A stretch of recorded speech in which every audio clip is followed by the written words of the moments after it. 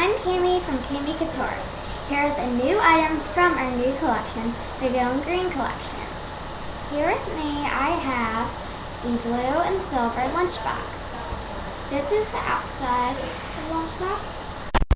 Right. And then when you open it up, here's the inside.